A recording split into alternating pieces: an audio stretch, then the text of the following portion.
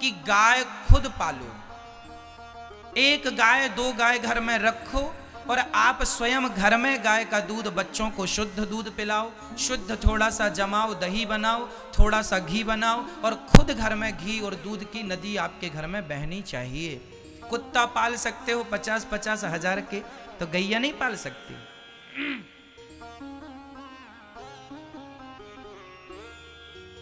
गाय की सेवा करोगे तो आज लोग बीमार क्यों पड़ते हैं? खान पान तुम्हारा बिगड़ गया, कुछ भी खा रहे हो।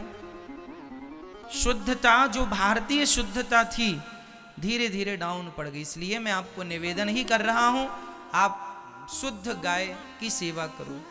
गाय बहुत ज़रूरी है। आपको पता है, गाय का एक तोला घी मतलब दस ग्राम घी जलाने से लोग कहते थे ना पुराने लोग, अरे, तुम तो हवन करके घी बर्बाद कर रहे हो, पागल घी हवन करके बर्बाद नहीं होता। गाय का शुद्ध पूछ लेना डॉक्टरों से, साइंटिस्टों से, वैज्ञानिकों से।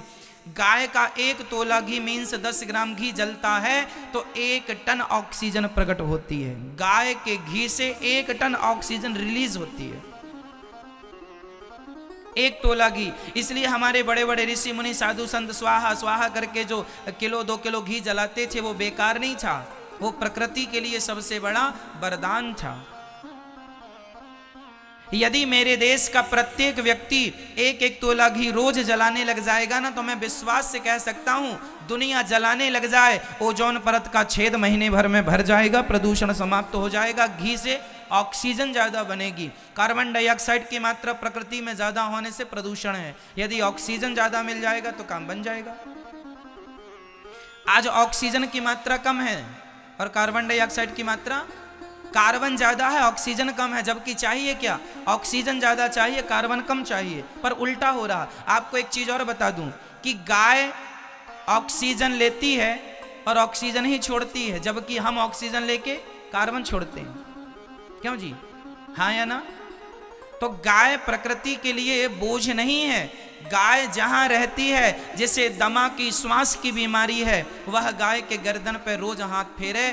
गाय की जो श्वास निकलती है, उसे ग्रहण करे। तो वह रोग ठीक हो जाते हैं। गाय का मूत्र लेने से, हल्दी के साथ लेने से कैंसर जैसी बीमारियाँ ठीक हो जाती हैं। इस धरती पर कैंसर का कोई इलाज नहीं है। डॉक्टर थेरेपी दे दे के मार और डालते हैं। कैंसर का एक ही इलाज है।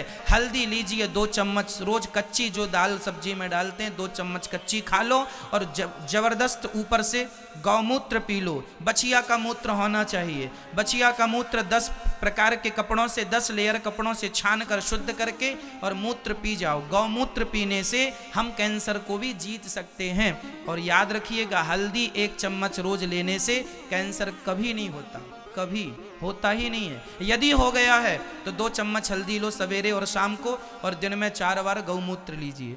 हल्दी और गौमूत्र से कैंसर कंट्रोल में आएगा और धीरे धीरे ठीक हो जाएगा। बहुत जल्दी पंद्रह दिन में रिज़ल्ट आपको मिल जाएगा। इतनी ताकत है गौमूत्र की।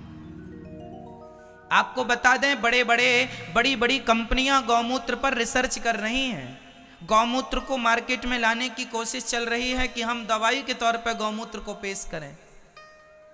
हमारे बड़े बड़े ऋषि मुनि पंचगव्य का प्रयोग करते थे। जिसे चर्म रोग होता है, खुजली की बीमारी होती है, वह गाय के गोबर से स्नान करने से चर्म रोग ठीक हो जाता है। गाय तो अमृत देने वाली है, गावो विश्वस्य मात्र, लेकिन आज हम गाय की सेवा ना करके कुत्तों की सेवा में लगे हैं। हुँ?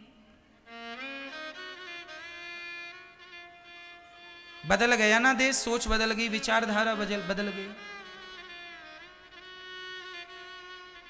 इसलिए गाय की इज़्ज़त करना सीखिए, गाय का आदर करना सीखिए, गाय हमारी माता है। वो बोल नहीं सकती, पर हमारा पालन करती है। जब हमारा देश आज़ाद हुआ था ना मेरी माँ, उन्नीस में, उसके मैं उस समय की बात करूँ, उसके पहले तो और बदतर स्थितियाँ थी। हमारे देश में खाने को अन्न नहीं था। भूखमरी मच रही थी पूरे देश में। हाँ या ना? आप अपने बाप दादों से पूछना कि उनके पास सवेरे खा लिया करते थे तो शाम को खाने की रोटियाँ नहीं हुआ करती थी। इतनी गरीबी थी। बूढ़ी बूढ़ी माताओं को बूढ़े बूढ़े लोगों को आज भी पता होगा। खाने को रोटियाँ नहीं थी, उस समय जानते हो? लोग किस पर निर्भर थे? जब हमारे देश में खाने को रोटियाँ नहीं थी, तब हमारे देश के लोग किस पर निर्भर थे? दूध पर। जब धरती से अनाज नहीं निकलता था, क्योंकि पानी की समस्या थी, बोरवेल हुआ नहीं करते थे, टेक्नोलॉजी थी नहीं। कुएँ के भरोसे खेतियाँ हुआ करती थी। किसके भरोसे? कुएँ के भरोसे। और कुएँ में भी पानी अब कितना निकाले, आदमी बैलों से कोलू चला के पानी निकालते थे, पुरानी टेक्नोलॉजी थी। क्यों जी, याद है ना? ऐसे खेतों में सिंचाई इत्यादि होती थी, क्योंकि बोरवेल हुआ नहीं करते थे। उस जमाने में जब हमारे देश में सबसे ज़्यादा भूख की तब हमारे देश के वर्तमान ये 1960 की बात है लगभग। उस जमाने में, उस जमाने में हमारे देश में सबका पालन गाय करती थी, सब गाय का दूध पीते थे। जब भोजन नहीं मिलता था पेट भर तो दूध पी के पेट भर लेते थे। क्यों जी? दूध पीते थे, दही खाते थे, लस्सी और बढ़िया मक्खन खाते थे। तो हमारे यहाँ, हमारी जीविका चलाने का साधन उस जमाने में क्या हुआ करती थी? पहले हर घर में चार चार छः छः दस दस गाय होती थी। और पहले के ज़माने में जिसके पास ज़्यादा गाय होती थी, वही धनवान होता था। सुन, कहावत सुनो। दोहा सुनो। मैं आपको पुराने साक्ष्य सबूत दे रहा हूँ। सुनो गौधन धन। किसे का? आज बोला जाए, धन क्या है?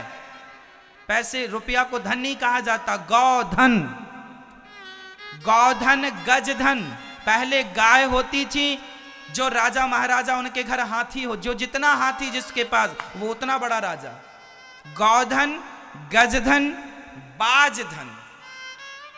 और रतन धन खान। रतन मीन्स रत्न। सोन, हीरे, मोती, पुखराज, माणिक्य इत्यादि।